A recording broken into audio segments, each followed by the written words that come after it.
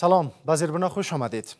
ادامه کار ساخت جاده ارتباطی افغانستان و چین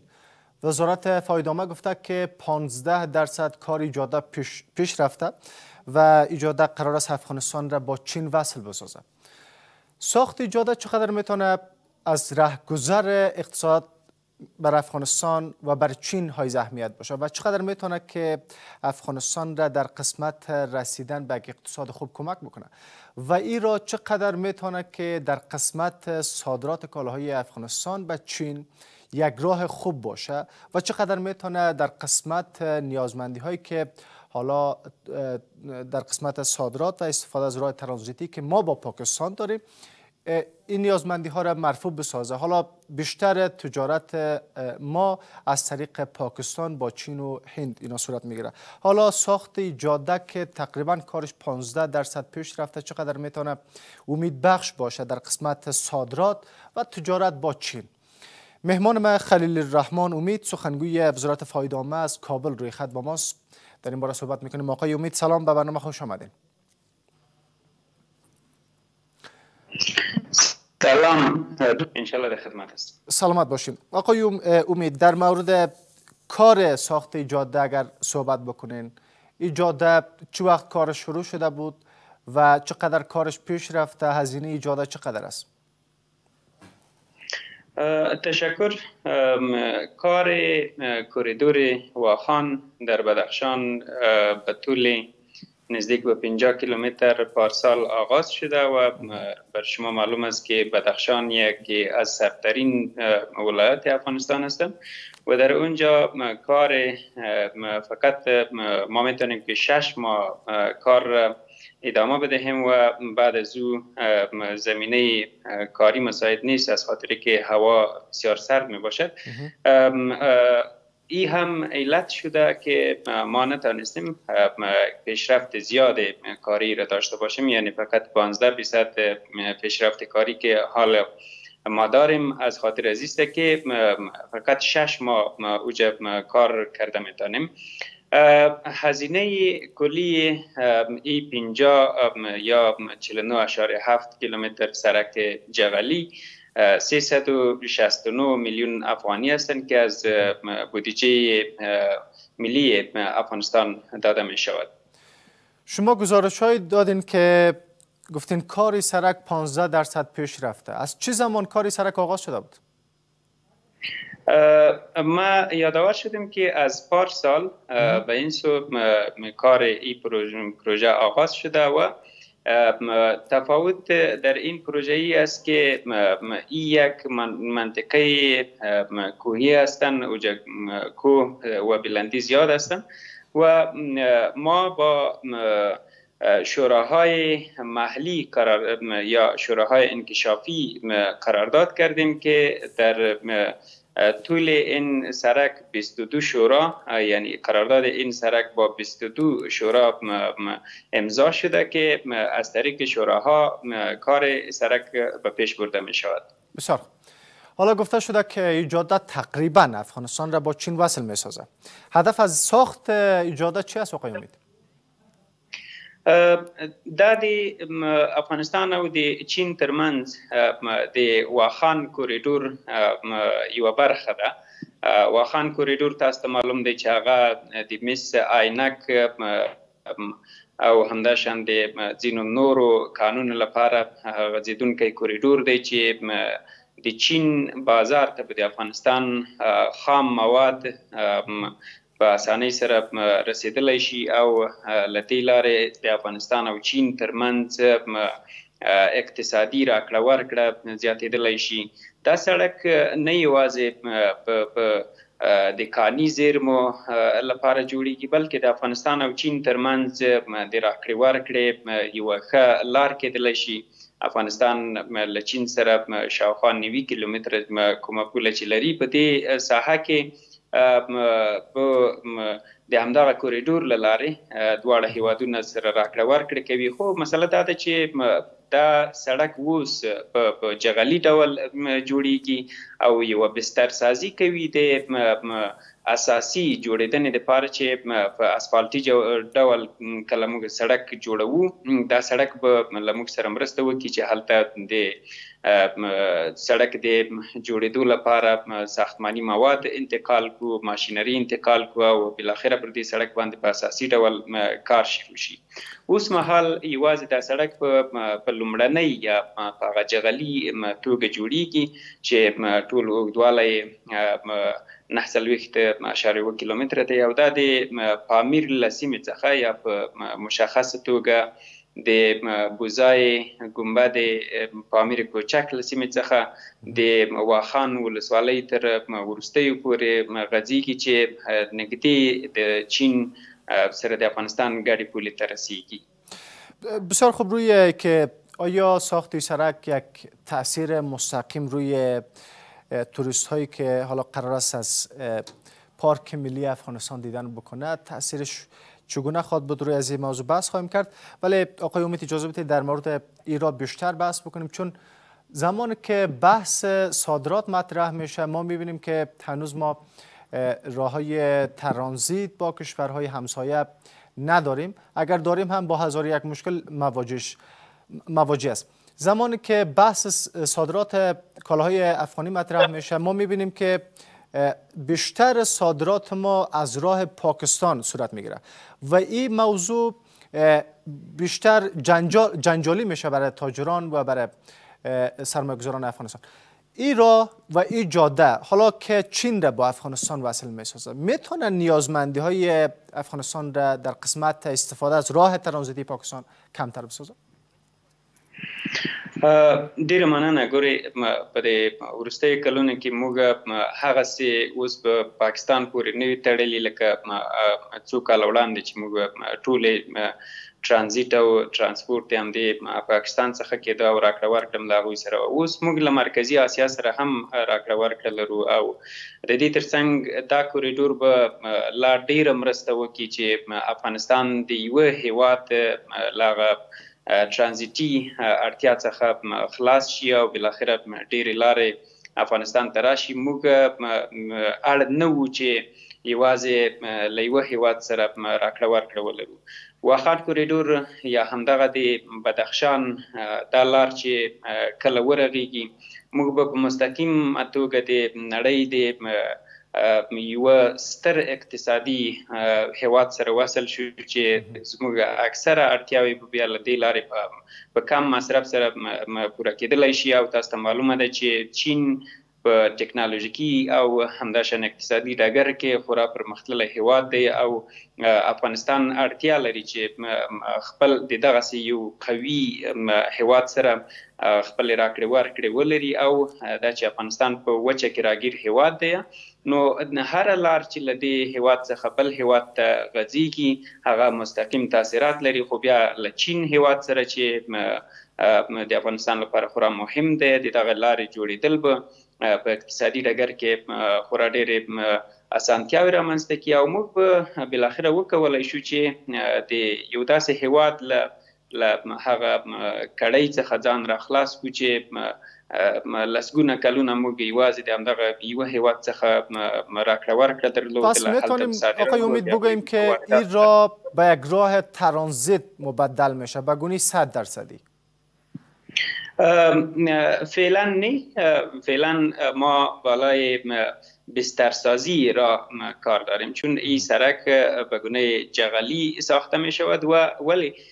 ما یا حکومت افغانستان وزارت فایده عامه در پلان کلان خود ای را در نظر دارد که ای کوریدور به یک کوریدور ترانزیتی مبدل شود و انشاءالله ای در آینده مبدل می شود. بسیار خوب در گذشته ها ما کدام راه ترانزیت با چین داشتیم متاسفانه ما فقط راه ابریشم را که سالهای یا قرنها قبل ای موجود بوده ولی او را از ترانزیت نبوده که ما بگوییم که از این طریق های کالا مترایی که باربری هستن با چین ترانزیت کرده باشیم این توی یک راه موجود نبوده با این را انشالله ترانزیت با چین صورت گرفته میتواند بسیار خوب با توجه به موقعیت جغرافیایی خاصی که افغانستان داره پس میتونه با ایجاد جاده های ترانزیت اف... این کشور را به یک پول ارتباطی بین آسیا و سازمان های همکاری اقتصادی مبدل بسازد؟ د افغانستان د حکومت یوه موخه هم دا ده چې افغانستان د سیمې د اتصال یا د نښلون پر مرکز باندې بدل کړي او په دې برخه باندې د ولسمشر ځانګړي پاملرنه شته ده او ټولګټو وزارت هم پر دې باندې خورا په جدي توګه کار کوي چې نه یوازې له چین سره بلکې د اسیا له مرکزي هېوادونو سره همداشان د ایران سره د پاکستان سره د دې ټولو ګاونډیو هېوادونو سره زموږ هغه د د سړک کومې نښلېدونکې لارې چې دي هغه په اساسي ډول ورغوو او موږ په رښتیا د یا افغانستان په رښتیا سره د اسیا پر پر زړه او نښلېدونکې نقطه باندې بدل شي چې له دې سره به نه یوازې افغانستان عواید ترلاسه کوي دلته به له دې لارې به هېوادونه خپلې اړیکې سره سمبالوي افغانستان د نښلون یوه په یوه مرکز باندې بدلیږي چې د سړک تر څنګ به په دې هیواد کې ځینې نور نښلیدونکي تارونه هم غځول کیږي لکه د کاسازر پروژه ده همداشان د ټاپي پروژه ده یعنی دا ټول د حکومت هغه پالیسی ده چې غواړي د افغانستان د سیمې د نښلون په یو مرکز باندې بدل کړي چې له دې لارې د سیمې هیوادونه راکړه ورکړه وکړي او ګټه افغانستان ته هم ورسیږي بسیار خوب زمان که این چنین جاده ها ساخته میشه آقای امید یک سوال مطرح میشه که این جاده ها حالا بحث بحث منافی است منافیش چی میتونه بر افغانستان باشه و بر چین چقدر میتونه جاده منافی داشته باشه از رهگذر اقتصاد این سوال من اگر جواب بدیم له اقتصادي پلوه وګورئ هر سړک ځان ته خپلې ګټې لري خو د افغانستان لپاره دا سړک ځکه مهم دی چې موږ به د خپلو جلغوزیو صادرات له دې لارې چین ته کوو چې چین خورا ډېره علاقه لري او د دې ترڅنګ به د خامو موادو چې په هغې کې هم چین علاقه لري او ځینې نور هېوادونه د دې په وړلو او صادرولو واردولو کې به مرسته وکړي او د دې تر څنګ به موږ د اقتصادي پلوه یوه لنډه لار د چین مارکیټ ته ولرو چې له هغه ځایه هم په کم مصرف سره موږ هغه اړتیاوې چې افغانان یا افغانستان ورته ضرورت لري هغه پوره کړو نو دا ټولې اقتصادي ګټې دي چې هم چین دلته ګټې پاللی شي او هم افغانستان تاسو وګورئ افغانستان د قالینو په برخه کې د جلغوزیو د حاصلاتو، د ځینو نورو حاصلاتو، د غلو دانو په دې ټولو برخو کې افغانستان لاسته راوړنې لري او حاصلات لري، تولید لري چې دا به نه یوازې په د همدغه تولید لپاره له دې لارې څخه استفاده کېږي چې هغه چین هېواد ته ورسول شي، بلکې افغانستان به د پرمختګ په حال کې دی او کله چې دلته نور تولیدات رامنځته کېږي، نورې کارخانې رامنځته کېږي، موږ کولای شو چې د خپل هغه بومي موادو چې هغه په افغانستان کې موجود دي، هغه د چین یو لوی مارکېټ ته چې اړتیا لري، د افغانستان ځینې مواد هغوی ولري دا به ترلاسه کوي یعنی د اقتصادي لحاظه موږ کولای شو چې چین په افغانستان کې را دخیل کو او کله چې د جلغوزیو او یا هم د کانونو په څیر یا د میس عینک په څیر لوی کان ته چې چین ورته اړتیا لري چین ته لار پرانیزو چین خپله په دې کې علاقمندي ښيي چې د افغانستان پر سړکونو باندې پانګونه وکړي او دلته لارې جوړې کړي او تر څنګ یې د افغانستان یو ښه پارټنر هېواد واوسي. بسیار خوب ما راه ترانزیت با پاکستان داریم با ایران داریم با ازبکستان همچنان تلاش ها صورت گرفت خط، خط، راه خط آهن ایجاد شد راه ترانزیت ایجاد شد مرزها باز شد با کشورهای همسایه حالا شما میگین که یک راه که کوتاس ما را با چین وصل می سازه و فکر میکنید که این ای یک گام است به خاطر اتصال منطقی و سیاست اقتصاد محور در کشور بله دقیقا پارسال وقتی که کار این پروژه آغاز شد هدف همین بوده که ما روابط اقتصادی خود را با چین قوی تر بسازیم و از این طریق یک راه نزدیک با چین داشته باشیم شما ببینین که وقتی که ما از چین واردات به افغانستان داریم او از طریق هوایی صورت می گرفت یا از راه های بسیار دور صورت می گرفت هزینه هنگفتی را داشتند ولی وقتی که ما مستقلانه و چین یک راهی را می داشته باشیم مستقلانه می توانیم که ارتباطات اقتصادی خود را با چین تنظیم نماییم و مفاد هر دو کشور در نظر گرفته به اقتصاد و پیشرفت ادامه بدهیم و بتوانیم که منافع هر دو کشور از طریق این کوریدور تنظیم و ترتیب شود یعنی ای را یک هدف بوده و هنوزم یک هدف هستند که افغانستان بتاند از چین با چین از این کوریدور وصل شود و مفادات هر دو کشور انشالله تنظیم و تامین میگرده شما گفتین که ای را هدف بوده این هدف از چه زمان بوده چه زمان ای را هدف شده بر حکومت افغانستان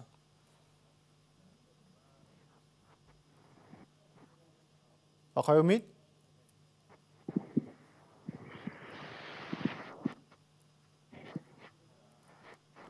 آقای امید صدای ما دارین هدف همیشه بوده حکومت افغانستان در کل تلاش از داره ادامه بله. بتن ادامه بتن آقای امید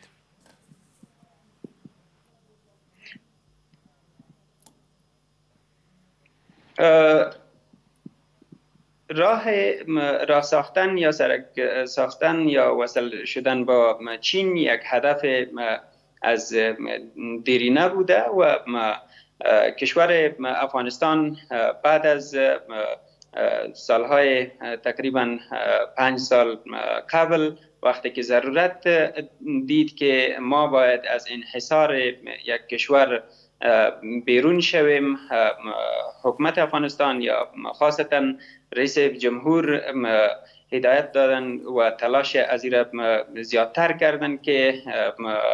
با کشورها وصل شویم شما دیدین که با ازبکستان با ترکمنستان با تاجکستان و همچنان حال با چین و با ایران که چابهار از طریق چابهار ما میتوانیم که با ایران و از طریق ایران با هند وصل شویم این راه ها وقتی که سرش زیاد تمرکز میشود هدفش این هستند که ما میخواهیم با تمام کشورها ارتباطات اقتصادی داشته باشیم و از زمینه هایی که موجود هستند از او استفاده نماییم تا مستقلانه اقتصاد خود را با هر کشوری که همراه ما مرز دارد ارتباطات اقتصادی خود را داشته باشیم و او را تنظیم بنماییم. بسیار خوب ظرفیت از این وجود داره آقای امید؟ هو، موږ دا ظرفیت لرو او له نړیوالو سره هم له نړیوالو ډونرانو او نړیوالو مرسته کوونکو سره په تماس کې یو چې وکولای شو د افغانستان د اکثریت سړکونو لپاره یا د هغه دهلیزونو لپاره چې افغانستان له سیمې سره نښلوي، د دې د جوړېدو لپاره له نړیوالو د مرستې غوښتنه وکړو او په دې برخه کې زموږ سره ځینې ژمنې هم شوي دي او ظرفیت دلته موجود دی خاصه توګه د ټولګټو وزارت چې اوس د افغانستان د سړکونو د رغونې چارې ورترغاړې دي په شپه او ورځ په دې تلاش کې دي چې څنګه کولای شو د سړکونو هغه ستونزې چې موجودې دي هغه حل کړو او تر د دې ترڅنګ څنګه کولای شو چې د سړکونو دغه شبکې ته پراختیا ورکړو چې په دې سره به په افغانستان کې هغه بندرونه چې په اصلي نقشه کې موجود دي خو په دې وروستیو کې وصل شوي نه دي، موږ هڅه کوو چې هغه بندرونه هم فعال کړو او دغه ټولو بندرونو ته لارې جوړې کړو. یوولس بندرونه چې دا مهال په افغانستان کې موجود دي، د دې لپاره ځینې سړکونه یا تخریب شوي دي او یا ورباندې په دې وروستیو کې ډېر کار نه دی شوی. اوس د ټولګټو وزارت هدف دی چې افغانستان د دغه بندرونو له لارې،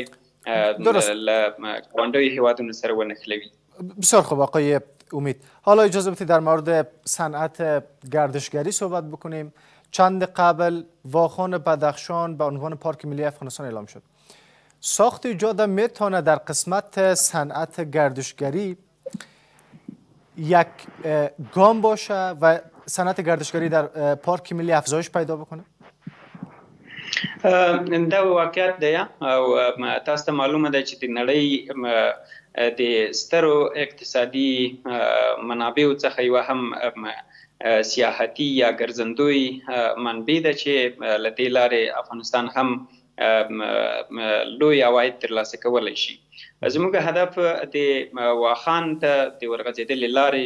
له جوړېدو څخه سره له دې چې موږ د سیمه ییز اتصال هدف درلودلو، د دغه مهمې لارې لپاره د دې سړک جوړول د سیاحانو سره یا د ګرځندوی سره خورا ډېره مرسته کوي او له دې لارې افغانستان کولی شي چې د نړیوالو په ذهن کې هغه تصور چې د جنګ او جګړې تصور دی هغه بدل کړي او نړیوال سیلانیان کله چې افغانستان ته راځي یا د واخان ملي پارک ته راځي هلته به له دغه سړک څخه استفاده کوي تاسو به ځینې ډاکومنټریانې لیدلي وي یا واړه فلمونه به لیدلي وي چې د واخان پر ښکلاګانو باندې جوړ شوي دي او هلته کله چې بهرني سیلانیان ځي هغه متعجبه کیږي چې څومره ښکلاګانې دلته موجودې دي یعنی کله چې دا لار جوړه شي هلته به تګ راتګ زیات شي او نه یوازې په خپله افغانان له بېلابېلو ولایتونو ولسوالیو څخه دې ښکلې درې او ښکلې منطقې ته تګ راتګ کوي بلکې د سیمې هېوادونو وګړي او د نړیوالو سیاحانو ټولنې او هغوی به راځي دلته به د افغانستان له دې ښکلې لارې څخه، له دې ښکلې درې څخه او له واخان څخه لیدنه کوي چې په دې سره به عواید هم زیات شي او د سیلانیانو هغه جوپې به افغانستان ته زیاتې شي. امیدوار هستیم ولی فکر میکنید که ساخت جاده میتونه که یک نوید باشه و یک امید باشه بر آینده ترانزیت افغانستان و ما میتونیم بگویم یا فکرش میتونیم بکنیم که این چونین جاده ها میتونه آینده ترانزیت افغانستان را روشن نشان بده و از انحصار ترانزیت پاکستان ما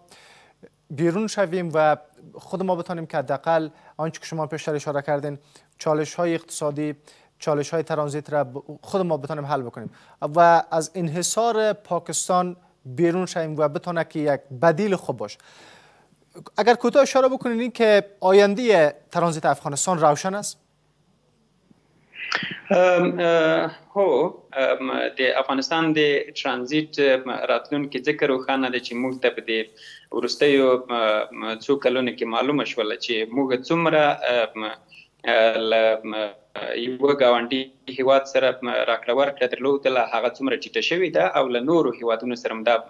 دغه سطحه څومره لوړه شوې ده دا یوه معلومه خبره ده او له همدې څخه موږ استدلال کولی شو چې افغانستان د ترانزیت یوه روښانه راتلونکې لري او دا